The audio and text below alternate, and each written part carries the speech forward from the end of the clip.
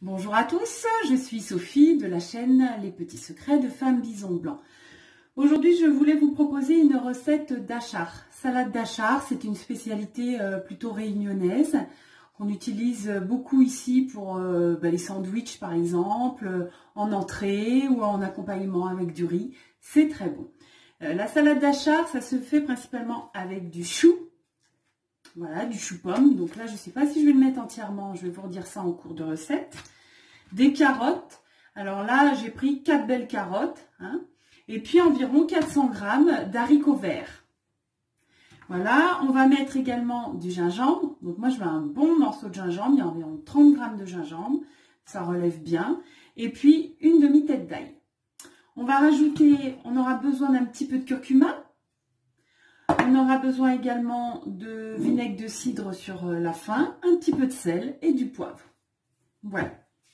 On se retrouve dans quelques instants pour la confection de cette recette. Alors, une fois que tu en as terminé avec tes haricots verts, on va passer aux carottes. Alors moi, pour euh, l'utilisation, euh, pour cette recette, en fait, je râpe les carottes. Mais je les râpe pas trop finement. Alors, j'utilise le borner l'outil indispensable pour ma cuisine, moi. Voilà, je trouve ça formidable, le borneur.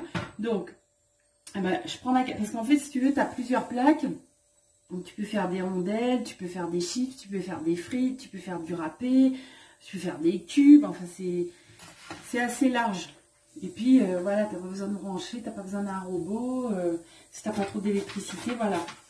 Alors, qu'est-ce que ça va me donner? Ça va me donner du râpé, effectivement, mais un peu épais. Voilà, du râpé un peu épais. Voilà, et puis ben voilà, sinon si t'as pas, ben, tu le fais avec une râpe et puis ça va te faire euh, râper assez fin. Hein. Si tu as de la patience, que tu as envie, tu peux faire des fines tranches, euh, tu vois, couper fin au couteau, mais bon, ça va te prendre euh, une bonne partie de ton après-midi. Peut-être pas quand même. Mais voilà, ok Donc, râpage de carottes. Donc, quand vous avez préparé tous vos légumes, donc à savoir, on s'est occupé des carottes hein, qu'on a, euh, qu'on a hachées finement euh, comme ceci. Les haricots verts, bon c'est pareil, on a fait des haricots lames en fait, hein, on, a, on les a euh, diminués comme je vous ai dit tout à l'heure. Le chou, ben le chou, voilà, vous le, vous hachez tout simplement, pas besoin ce soit trop trop fin. Hein. Voilà, parce qu'il va cuire. Donc, euh, le chou, il faisait à peu près 1 kg, 1 kg 100. Donc, ce n'était pas un très gros chou. Et puis, vous avez écrasé euh, votre ail et votre gingembre. Et on va pouvoir enfin passer à la cuisson de notre... Alors, c'est parti pour euh, la cuisson de notre achar. Donc, vous mettez sur le feu. Donc, là, moi, j'ai mis un feu assez fort. Hein, parce que c'est bien que ce soit saisi. Donc, voilà, un feu assez fort. Vous allez mettre votre marmite. Et donc, du coup, elle va, elle va être bien chaude lorsque vous allez pouvoir mettre l'huile. Voilà, hop, on met de l'huile. À la Réunion, ils aiment bien qu'on mette du gras comme ça. Mais on n'exagère pas trop, bien sûr. Une fois que vous avez mis votre huile, ben, vous allez mettre directement euh, vos épices, à savoir l'ail et le gingembre. Voilà, donc là, comme je vous ai dit, moi, j'étais partie sur une bonne demi-tête d'ail. Et euh, il y avait 30 grammes à peu près de gingembre. Hein. Vous avez vu la quantité, ça fait pas mal. Voilà. Vous faites ce qu'on appelle ici à la Réunion roussir un peu vos épices. Donc vous allez attendre qu'il y ait une petite teinte légèrement dorée, mais pas trop. Voilà, comme c'est des épices, ça va assez vite. Voilà, vous faites un petit peu revenir votre ail et votre gingembre. Et vous allez tout de suite mettre vos carottes. Voilà, on fait revenir les carottes tranquillou. Et on va faire pareil pour les haricots verts.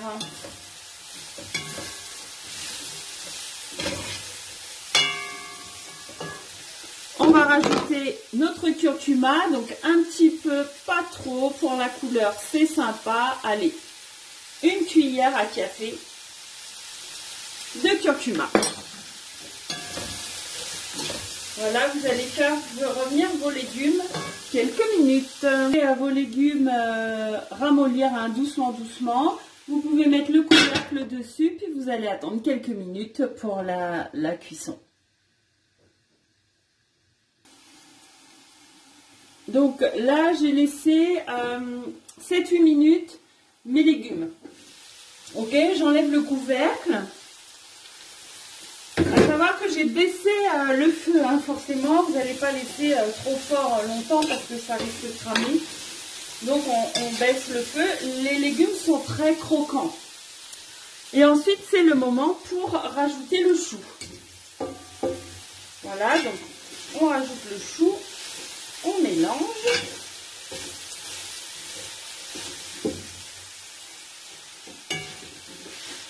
Je le fais en direct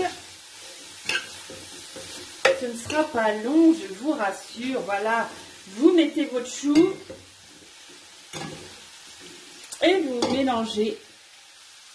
Une fois que vous avez euh, terminé de mettre votre chou, et eh ben vous allez recouvrir quelques instants.